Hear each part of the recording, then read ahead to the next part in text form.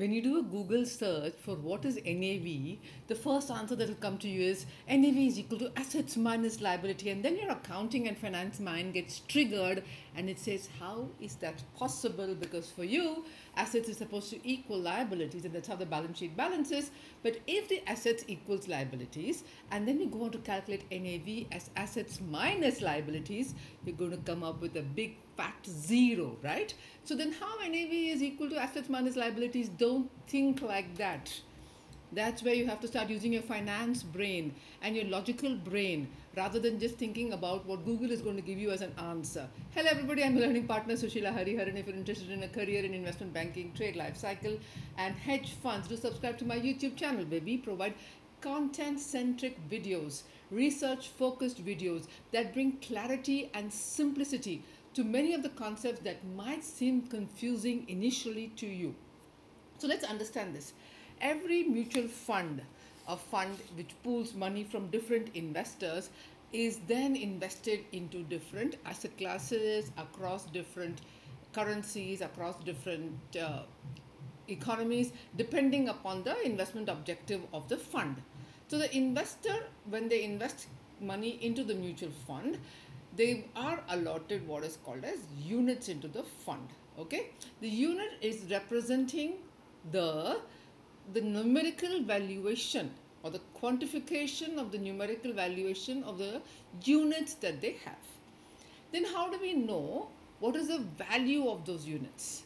For this we need to know two separate things and two very distinct things. And for that we need to understand what is the life cycle of the NAV or the net asset value.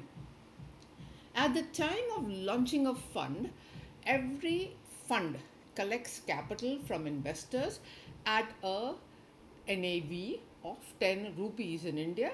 In some countries it's a dollar, in some countries it's a euro, in some countries it is even less than that. Okay, so that they allow for small and retail investors to participate extensively in these asset classes.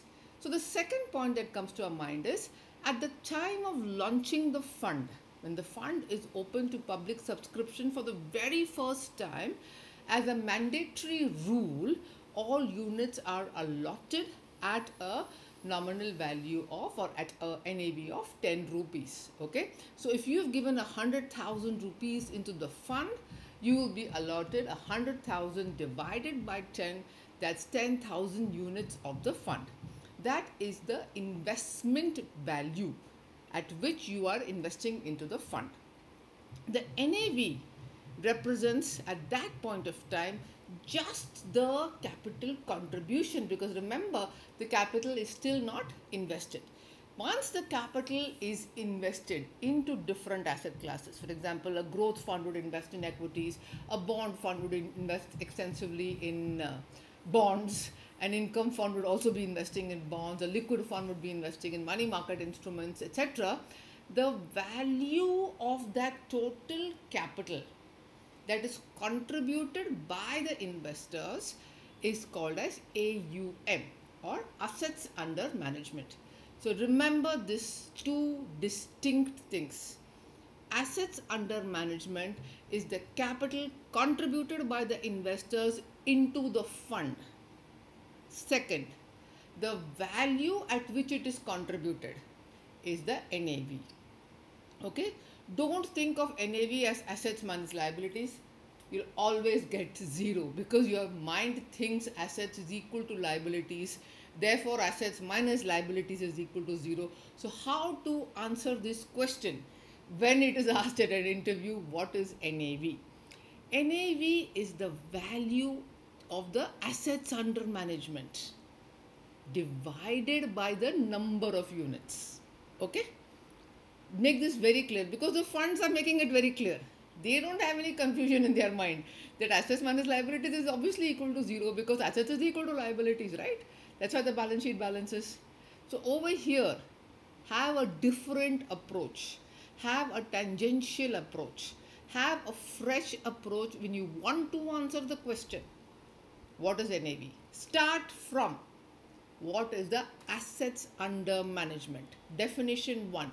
Assets under management is the total capital contributed by the investors. Does it include fixed assets? Certainly not. How can it include fixed assets? Because investors are not contributing into the fund to buy land and building, plant and machinery, furniture and fixtures. So we have to exclude that. So there are many points which have to be considered while considering assets under management because assets under management represents capital contribution from investors into the fund after reading the offer document, the investment objective, who is the fund manager, etc. Step one is identifying assets under management. Step two, very important step is finding out how many units are allotted. In the case of an open ended fund, both of these change. In the case of corporate actions like stock splits or dividend payments, etc., they will change. What will change? Assets under management will change. So we have to identify the corporate action associated with the assets under management. And third is the number of units that are allotted to the investor changes only at the end of the day because of the nature of the fund, right? So therefore, don't say NAV is net asset value, that is assets minus liabilities. Say it is the unit valuation of the assets under management. So now when you think of it this way, when you think of it in this fresh dramatic way, you now are clear in your mind that we are now segregating investor capital versus investor units vis-a-vis total capital because assets under management is not equal to the total assets. It's a part of the uh, total assets of the fund. It is not equal to the total assets of the fund. The fund will have other assets, including uh, you know furniture and land and building and laptops lying around and stuff like that. Right, office space also they may have purchased it. So then they will have so assets under management is a part of the total assets and that is divided by the number of units allotted. You get the NAV and that in my mind is a far better way to analyze how NAV is explained at the time of an interview rather than just saying assets minus liabilities is equal to NAV and the interviewer's next you literally open the floodgate to the interviewer and he's going to say oh so that's equal to zero because assets minus liabilities is equal to zero. So if you want to play, have fun and ask him and answer that way, uh, then go ahead and do so. But in my mind, that is not going to take you to the next level of the interviews because you need to know how to approach the concept of assets under management versus number of units so that you are then able to find out what is the unit value of every single unit of the fund. Thank you so much for listening in.